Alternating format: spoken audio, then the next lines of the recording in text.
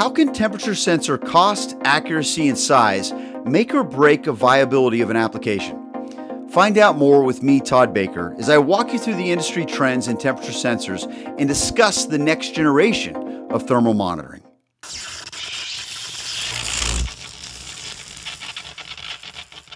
Temperature sensors have been involved in so many embedded systems for absolutely years. And probably all of us as, as design engineers have used a temperature sensor in some form or function um, over that time. But in today's applications and today's embedded systems, the requirements on a temperature sensor are getting more profound than they probably have ever been, with greater needs for accuracy, greater needs for precision, uh, and greater needs for low power consumption and incredibly small size uh, to be able to make that end product look and feel the way that we our customers want it to. Um, today, I'm having the privilege of speaking with Joris Roels, who's the product line manager of Melexis infrared temperature sensors. Uh, and, and Melexis has come up with some great new products in this area, and, and wanted to spend a little bit of time with Joris discussing not only what Melexis is doing but what he sees design engineers doing today uh, and where the direction he sees temperature sensors going uh, down the road. So, Joris, thank you so much for joining me today. I really appreciate it. You're welcome. Thank you for having me. Absolutely, absolutely. So obviously, you know, there's a lot of focus on new markets right now. Um, you know, certainly in the, in the post, hopefully post-COVID world that we're living in, um, you know, there's a lot of need for different te- sensor applications, wanting to be able to measure different people's uh, temperatures on, at a moment's notice, crowd temperatures, things along those lines. Um, you know, and, and, so with body temperature being a huge part of that, it, you know, IR sensing has been, you know, I think I've got a number of thermometers in my house we've used on our kids for years uh, that are all IR based. Um, you know, what are some of the most exciting new applications that you're seeing out there for IR-based temperature sensors today? Yeah. So, well, you, you mentioned a few applications already, like the ones you use for your kids and the, the crowd measuring, etc. But um, most of those are actually what I call always a point and shoot measurement. So right. you decide at some point, hey, I want to know my kid temperature. Well, you take it and you see, okay, uh, well, this or this temperature and might or not have a fever. What I think is a very exciting trend which will, will shape, really reshape healthcare in the future, is that we're going to shift from that well, rather reactive model. Oh, I'm not feeling well, or my kid is not behaving like he should right. be. Let's let's let's make a check, to a more proactive system, um, where we're somehow we're going to have a wearable, which is telling us even maybe upfront, like a day before, you're going to get ill, or something is happening which is, is not right, and that's a major change compared, uh, yeah, first of all, it's better for the person. Yeah, the, the earlier you know something, uh, usually the better you can treat. Uh, you can just go home and, and, have a rest or whatever, and have some lemon tea and have a good rest, and maybe the disease won't be that bad. But also saving cost. Eh? Healthcare. I mean, the cost for healthcare is skyrocketing. the earlier you diagnose certain disease, um, yeah, the better. Uh, but what you need for that is actually continuous health monitoring. So the people not being, yeah, uh, uh, you will not do that every day. People are, are lazy. But if you have like a watch or, or something like an earbud, something you, uh, you can wear pretty casually, um, that's a very, very powerful system. Um, with a bunch of sensors, a lot of data, then you have some smart AI running on that. And yeah, that's a very powerful tool to, to reshape uh, healthcare.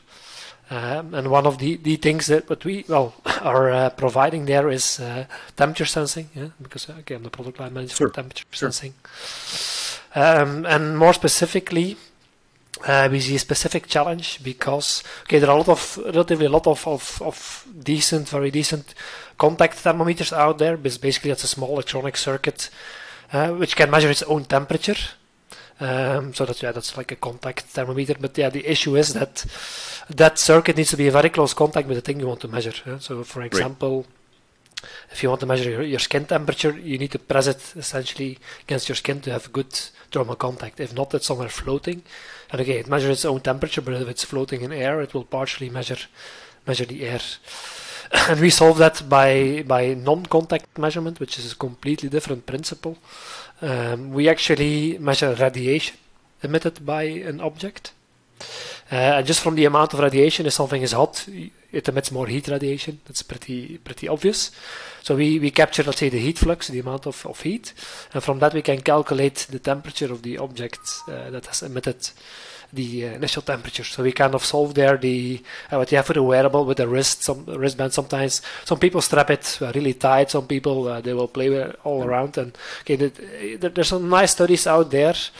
Um, showing that yeah the variability of those measurements because of thermal contact issues is just very large and does not give you reliable data and that can be solved with uh, yeah, a non-contact temperature sensor which have right. by the way the, yeah, or maybe you have a question. Yeah, go ahead. I can go on for hours, so no problem. That's a good thing. interrupt me if you have a question. No, no. I mean, so you know, obviously that's that's been one of the things I think a lot of engineers are wondering about because you know I look at a lot of the products that we use and products I use. Um, you know, my wristwatch that, that I have, um, you know, to, to measure a lot of my health vitals is not able to give me an accurate you know idea of what my body temperature my internal core temperature is to say if i have a fever or not. That's that's not something that's existed today. So how is that something that, that people are overcoming and and hopefully will be uh, available in the next generation of these products uh, well, the, the first step is actually make an accurate measurement. Um, in, in case of a watch, for example, it will be your wrist temperature. So that is a point, let's say, that Melexis can solve for you. So at least you measure accurately the wrist temperature. to convert that into body core, that's of course, uh, yeah, still a bit more difficult step because your wrist temperature not necessarily reflects body core temperature. Um, yeah, we cannot re-engineer the human body. Unfortunately, that's something we are not able to do. So we need to work with what nature uh, gives us. There are actually spots. Um, uh, at your body, which gives access to body core uh, in the ear, for example. But it's not. Sure. Yeah, for many wearables, it's not. Uh, for some wearables, it's okay, it's suitable. There's a small spot here behind your ear, but then you need to be directly spot on. The forehead is also pretty well known. There also you can do it's pretty close to your especially to your to your brains. And also there uh, it does not directly give access to body core but let's say there is enough clinical valid yeah, validated data available. Uh, yeah you can also buy in the pharmacy by the way fda approved uh, forehead thermometers. So that's another spot. But again yeah the the wrist that's not the solution for uh, yeah. at this moment there are already uh, manufacturers on the market using our sensor in watches, uh, but it's like at the front of the watch. So you do basically something like this, and then okay, you have an accurate body temperature, but again, uh, that's a point and shoot measurement, which, which, well, which is okay for, for, for a product. Eh? some, it's just nice to add, add, to the watch as a feature. but the future, great. really, I think, will be looking inward and measuring the wrist temperature, and from that calculated the body temperature. And it's already clear that you cannot do that from temperature alone. There will be several parameters in the mix. Right. Heart rate, for example, uh, is an important one because heart rate it says something about your metabolism. If you just yeah, if you're uh, working out, uh, you're, uh, you're sweating, uh, but also your heart rate goes up. So if you throw all of that in the mix, heart rate variability, uh, maybe some other parameters like like heat flux, breathing, um, then from all of this data, it there are good signs, let's say, that that will be possible one day to reconstruct uh, body core temperature, but we're not there yet. And it's work which is now, yeah, very strongly accelerating. First of all, the sensor technology becomes available. Uh, we're not only talking about our sensor, but then also PPG sensors that become smaller and, and more powerful. So sure. now, let's say we're able to, to collect the right data. So now uh, there are a lot of, of our customers now collecting a lot of data and building biometric models um, yeah, to, to really just do that, uh, to really make predictions about body core temperature, about people uh, that will get ill in 24 hours, which I still think is a bit of, of, of, black magic if you, you don't feel it yourself, but your, your watch will tell you, hey, you're gonna get a headache tomorrow. It's a right. pretty thing, but it's coming really. at this moment, it's still uh, that watch is not there yet. That will tell you you have a headache tomorrow, but it's I believe it's coming. Sensor technology is there. Now we're in the next step where uh, yeah, the biometrics uh, need to be developed, and it's very, very uh, exciting times ahead, I think, in, in, in, that field. Yeah, no, no doubt. I, I mean, obviously, the more data that we're collecting from any system, the more we can use models like machine learning or artificial intelligence to exactly, make those decisions and, and, see over time um, and start to have a model that exists, you know, for every individual, for you know, just our, our general biology. Yes. and that, that's, that's the very, key. Very every every individual. Eh? That's the thing. Till now, all these uh, things you buy in the shop, also for the forehead, they need to make assumptions about general population, but nobody is the average. There is an, nobody is the average person. Right. Uh, right. And yeah the, again, continuous health monitoring, personalized algorithms learning who you are. That will mm-hmm. be yeah, the key to, to much better, let's say, health healthcare services. So that's yeah. really the key, the individual. Yeah. Yeah, and so I mean things like you know in, in discussing the ability, yeah, okay, we know that we can get an IR sensor in our ear and, and we can get an accurate core temperature from that. Uh, something like our wrist, you know, as you were saying before, it, it really comes down to looking at that temperature over time to determine the accurate core temperature and, and exactly. taking other readings like you mentioned, uh, things along those lines. The other the big impact I think that on any temperature sensor application, even you know in older temperature sensor applications that I know I was doing in some of my previous designs years ago, um, is understanding the environmental temperature around to, to, to, make decisions based on not just the, the, the object you were trying to measure the temperature on, which is in this case we're talking about a human body, uh, but then subtracting out the environmental temperature changes and things like that. How's Melexis helping engineers with that and making that process easier to understand what the actual temperature of the target object is, no matter what the environmental temperature uh, changes may be? Uh, that's a very good question because actually one of the uh, key weaknesses of non-contact thermometry that the sensors they tend to be very sensitive from mm-hmm. exactly what you say out, outward uh, thermal influences which disturb the sensor. Um, right. And for that reason, um, well, not sure if it's clear in, in, the in the camera. So I'm showing here uh, a TO-can. Yeah. Okay. So manufacturers, this is the state of the art. It, I know it looks 90s, right? Uh, but this is the state of the art package for uh, non-contact temperature sensors. Why is okay. that? Um, well, you, first of all, you see the, the window, so the radiation comes in here. Right. But for the all the rest, let's say, is yeah uh, shielded by the metal, uh, because yeah, metal can has a good thermal conductivity. So yeah, if you, if you have like a gradient, um, a thermal gradient, it smoothens out, let's say, uh, because of the good thermal conductivity. And it also has a big thermal mass, so you have some fastly varying uh, temperature, like uh, just uh, just even uh, fluctuating air sometimes enough. Uh, if you have an uncompensated sensor, just drafts, which which are present in every normal room, yeah. they create tiny temperature fluctuations, which will be picked up by the by the sensor. so that makes it very difficult. And people who have worked with us, like apparently you many years ago, uh, yeah. well, they know about these weaknesses. Many. It's not often advertised by the manufacturers of those sensors. Um. But yeah, this is one of the well, like like the contact thermometers have the issue that you need a good thermal contact. Uh, the non-contact ones have the issue that they're very sensitive to, to let's say thermal noise from the environment. Right. And for that reason, they're typically bulky and packaged in yeah. Uh, yeah big metal boxes essentially. so a few years ago, um, yeah, we came up with uh, a solution for that, and well, this is going to be yeah, the, the, trouble is so small. I'm not going to be able to show it probably. Wait, um, but I'm going to try to at least give the viewer some idea about the difference in sizes. So. Yeah. So this is yeah, three I by mean, three by one millimeter. This is a huge can of yeah one centimeter by one centimeter. So right. that's uh, and yeah. Now, now you want to know probably what's the trick because here you don't see any metal can, right? It's just uh, plastic right. and well silicon window. and in fact, uh, the secret is like so active compensation.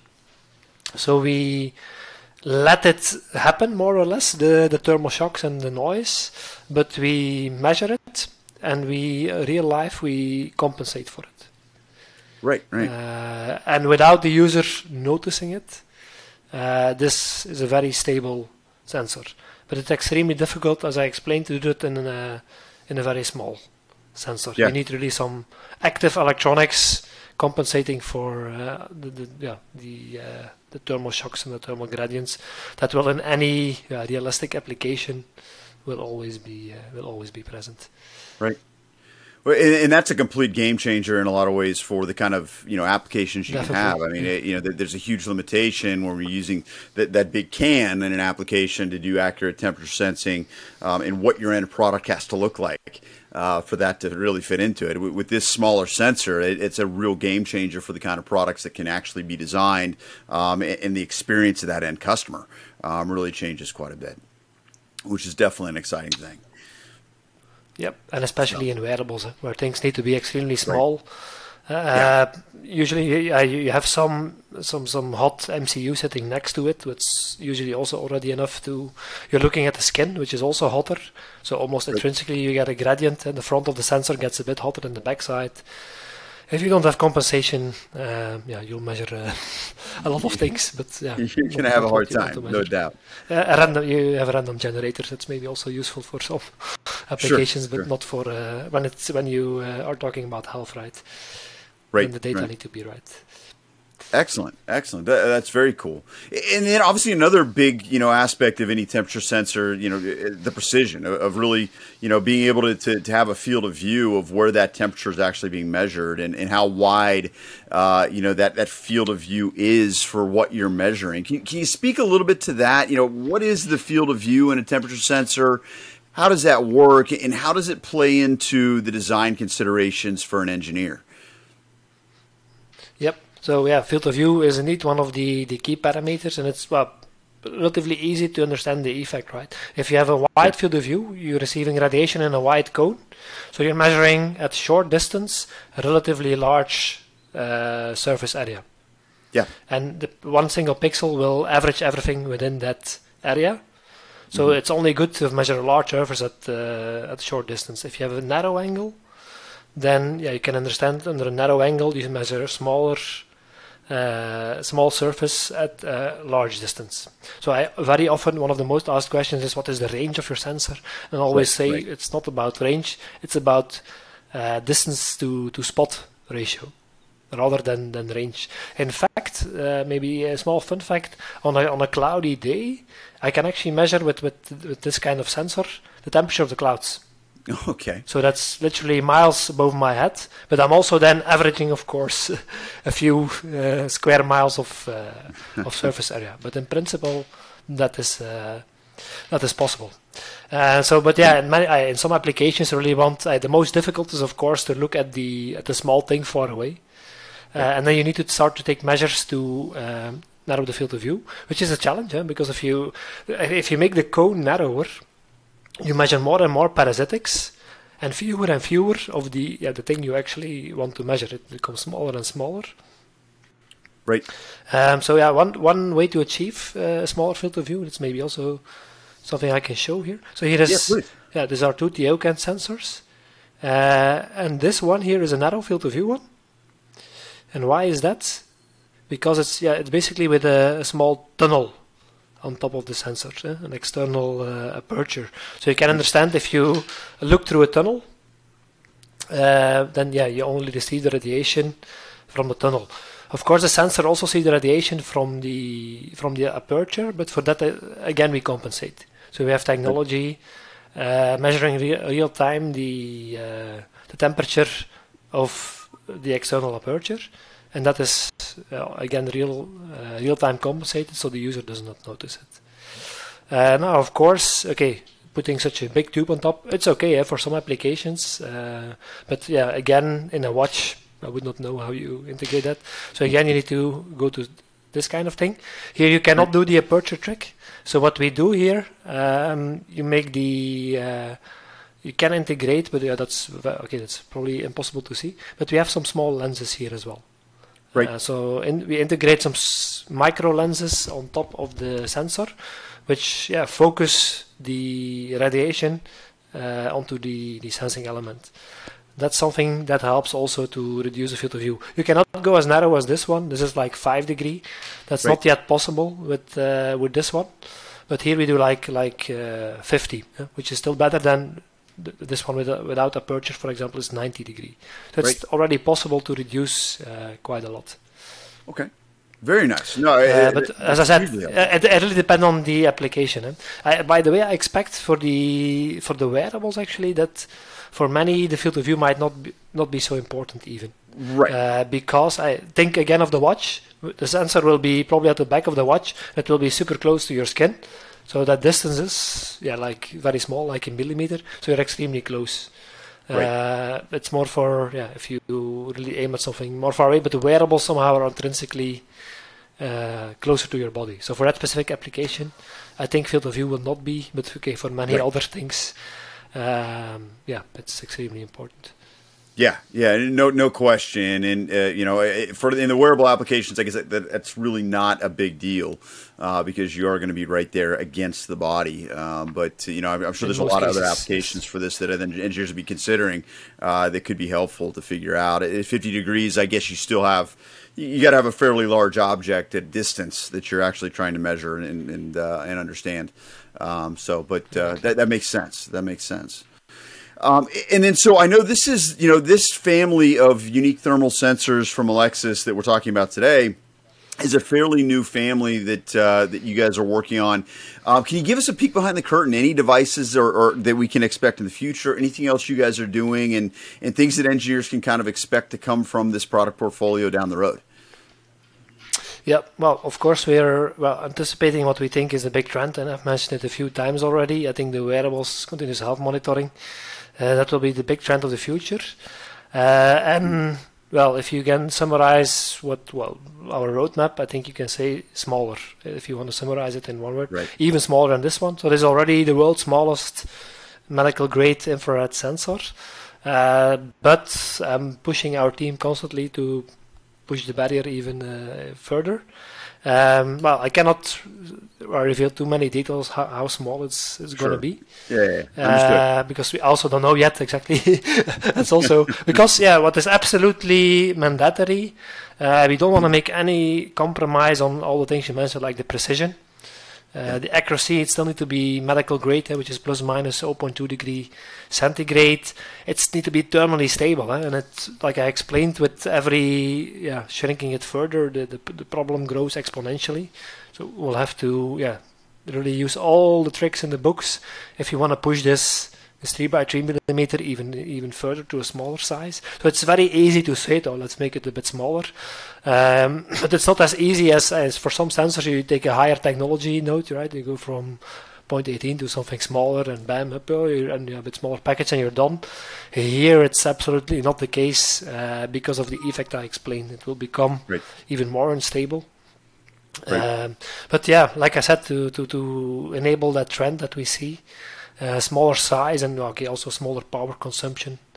Um, but okay, the smaller consumption I consider it a bit more, a uh, bit easier as a challenge. The, the, the smaller size is really because of the parasitics. Uh, yeah, will be a tough challenge, but that's a nice uh, challenge for our engineers. Uh, and yeah, hopefully in a few years there will be uh, well, literally a little little brother then for right. for the, for this guy here. I very exciting developments in the technology and what Melexis is doing with it, no doubt, and, and it's going to be exciting to continue to watch. Um, you know, I, I, think this this advance that you guys have and the, the, small footprint that it's in, and still having those great capabilities, um, is going to be incredibly exciting for a lot of applications, particularly when we're talk, look, talking about wearables. But I'm sure there's going to be a lot of engineers out there that come up with other unique ways of utilizing this product. No doubt, no doubt, no doubt. Yeah. Yeah, I'm I'm, I'm uh, in charge of the temperature sensor for yeah. quite a long time already, but still I'm surprised after seven or eight years that people still come with uh, some other application for a temperature sensor, which is not a surprise. A temperature is such a generic parameter which is important yeah. in so many processes that always there's some guy that comes with, uh, oh, no, that I've not seen before. Right, right. Somebody is, uh, yeah, yeah, that's what makes our discipline fun. That's that's, uh, that's, that's awesome. uh, that makes it fun. That's in fact, yeah. Um, yeah in, in, my career, I've seen many and also visited many customers doing extremely different and exciting things, and, and, I learn a lot. And that, that makes it, of course, nice to, uh, yeah, also, uh, yeah, be in charge of this temperature sensors product line because the applications really go uh, pretty pretty wide. No question. No question. Well, th- thank you very much, Joris. This has been very insightful. Really appreciate the time and the information on this product portfolio in this series. Um, if you have more inform- uh, more questions or, or, more ideas or things you'd love to discuss, we'd love to help you. We'd love to make introductions with Melexis. Future Electronics engineering team uh, would love to help you look at the entirety of your design. If you're looking at something where you want to take temperature information, uh, humidity information, heart rate information, all these different things to do machine learning. So you'll need microcontroller for that you maybe need the connection to the cloud to do that for artificial intelligence at the server level. We're here to help you with that. If you have those questions, uh, please reach out to us at shaping the future at futureelectronics.com. Again, shaping the future at futureelectronics.com or click the link in this video. Uh, we'd absolutely love to help you. Joris, thank you again uh, for your information on what Melexis is doing. Uh, and and uh, we're really excited about this product series and all the other great sensors and technologies that Melexis is working on. Uh, thanks very much, and we'll talk to you soon. It was uh, a great pleasure from my side, and yeah, thank you very much for uh, inviting me for this opportunity to speak here about uh, yeah my passion. Certainly, certainly. All right, take care, all.